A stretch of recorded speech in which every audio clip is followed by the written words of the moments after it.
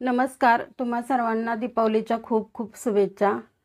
आज आपण धनत्रयोदशीची पूजाविधी कशी करायची आणि यम दीपदान कसे करायचे ते पाहणार आहोत आजच्या व्हिडिओमध्ये. तर चला व्हिडिओला सुरुवात करू. इथे एक चौरंग घेतलेला आहे. त्यावरती लाल कलरचा ब्लाऊज पीस हंतरून घेतलेला आहे. तुम्ही कोणत्याही कलरचा ब्लाऊज पीस हंतरला तरी चालेल. त्यावरती महालक्ष्मीचा फोटो ठेवलेला आहे. इथे एक मी कलश घेतलेला आहे. या कलश आहे. त्याला मी पाच असे पट्टे वडून घेतलेले आहेत कुंकवाचे. तर हा कलश आपण इथं ठेवून घेऊ. इथं विड्याची पानं घेतलेली आहेत. हे पाच पानं आपल्याला लागणार आहेत. तर यात कलशामध्ये असे ठेवून घ्यायचे आहेत. कलशामध्ये एक नाणं एक एक रुपया टाकायचा आहे आणि एक सुपारी घालून घ्यायची आहे. हळदी कुंकू वाहून घ्यायचं आहे. एक फूल ठेवायचं आहे आणि नंतर ही पानं अशी मांडून घ्यायची.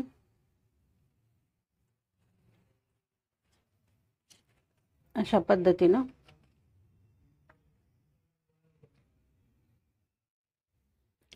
यावरती आपल्याला नारळ मांडून घ्यायचा आहे.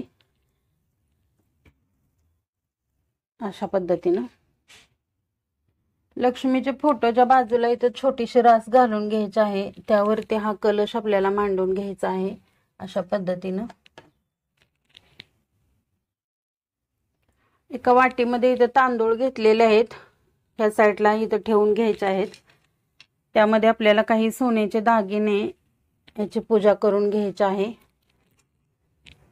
अशा पद्धतीनं. सर्वप्रथम आपण महालक्ष्मीच्या फोटोला हळद कुंकू लावून घ्यायचं आहे. जे आपण दागिने घेतलेले आहेत त्यांनाही हळदी कुंकू लावून घ्यायचं आहे. अक्षदा वाहून घ्यायच्या आहेत. कलश स्थापन केलेला आहे. त्यालाही हळद कुंकू लावून घ्यायचं आहे. अक्षदा व्हायच्या. तांदळाच्या वाटीमध्ये दागिने ठेवलेत तिथंच आपल्याला हे पैसे ठेवून घ्यायचे आहेत काही. त्यांनाही हळदी कुंकू लावून पूजा करायची आहे. आणि अक्षदा व्हायची. एक फूल वाहून घेऊ. महालक्ष्मीच्या फोटोला एक फूल व्हायचं आहे. जो कलश आपण स्थापन केलाय तिथंही एक फूल वाहून घ्यायचं आहे. तर या ठिकाणी छोटीशी रास घालून घ्यायची आहे. तीन राशी घालायच्या आहेत अशा पद्धतीनं. यावरती आपल्याला बाप्पांची मूर्ती स्थापन करायची आहे. कोणतेही कार्य सुरू करताना गणपतीची पूजा केली जाते. इथं माझ्याकडे महालक्ष्मीची मूर्ती आहे. ही मूर्ती ह्या राशीवरती ठेवून घ्यायची आहे. सरस्वतीची एक मूर्ती आहे ही या राशीवरती ठेवून घ्यायची. धनत्रयोदशी दिवशी महालक्ष्मी गणपती आणि सरस्वती यांच्या फोटोचं पूजन केलं जातं. तुम्ही फोटोची जरी पूजा केली तरी सुद्धा चालते. तर आपण हळदी कुंकू लावून घेऊया.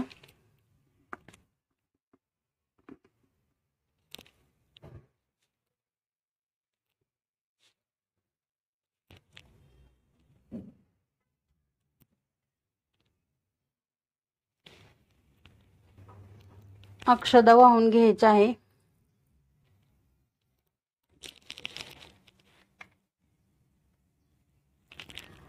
एक एक फूल ठेवून घ्यायचं आहे. अशा पद्धतीनं.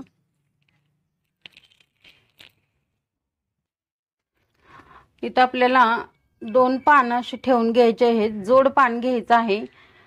त्याच्या साईडलाही एक जोड पान घेऊन असं ठेवायचं आहे. यावरती आपल्याला थोडंसं अक्षदा वाहून घ्यायचं आहे आणि त्यानंतर सुपारी ठेवून घ्यायची आहे म्हणजेच कुबेर पूजन करून घ्यायचं आहे. जर समजा तुमच्याकडं कुबेर यंत्र असेल तर त्याची तुम्ही पूजा करू शकता. हळदी कुंकू वाहून घेऊ. अक्षदा वाहून घेऊ.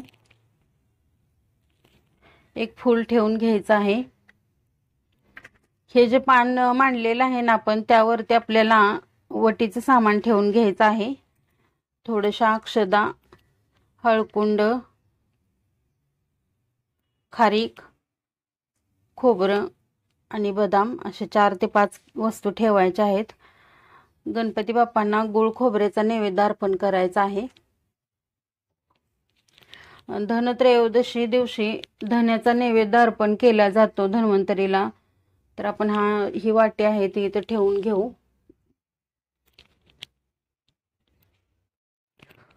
जे वट्टीचं साहित्य घेतलेलं आहे त्याच्यावरती हळदी कुंकू वाहून घ्यायचं आहे. एक फूल ठेवायचं आहे. धनत्रयोदशी दिवशी दुधाचा नैवेद्य अर्पण केला जातो. धन्वंतरी हे धन्वंतरी हे आरोग्याची देवता आहे. त्यामुळे आपण आपल्या परिवारासाठी सुख शांती मागायची आहे. कोणताही रोगराई आपल्या आयुष्यामध्ये आला नाही पाहिजे अशी प्रार्थना करायची आहे. अगरबत्ती सर्व देवांना ओवाळून घ्यायची आहे. निरंजन लावून घेतलेलं आहे. तेही ओवाळून घ्यायचं आहे आणि एका साईडला ठेवून द्यायचं इथं. इथं काही गोडाचा नैवेद्य घेतलेला आहे. हाही ओवाळून घ्यायचा आणि इथं ठेवायचा आहे. तर इथं मी तेरा दिवे लावून घेतलेले आहेत. धनत्रयोदशी दिवशी यमदीपदान केलं जातं. तर यमदेवतेला त्या दिवशी कणकेचा दिवा बनवायचा त्याच्यामध्ये थोडीशी हळद घालायची आहे आणि आपली गॅलरी आहे त्याच्यामध्ये बाहेर दक्षिण दिशेकडे त्याचं टोक करून तो दिवा तिथं यमदेवतेला दान करायचा असतो. आणि प्रार्थना करायची आमच्या घरावरती कोणतंही संकट येऊ देऊ नकोस म्हणून नंतर पाया पडायचं. तर या ठिकाणी तेरा दिवे लावून घेतात धनत्रयोदशी दिवशी. तर ते तुळशीपाशी लावायचे आणि तुळशी मातेला ओवळायचं. तर अशा पद्धतीनं आपले धनत्रयोदशीची पूजाविधी संपूर्ण झालेली आहे.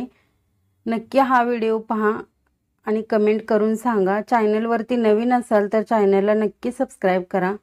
व्हिडिओ आवडला असेल तर तुमच्या मित्रमैत्रिणीमध्ये नक्की शेअर करा. धन्यवाद.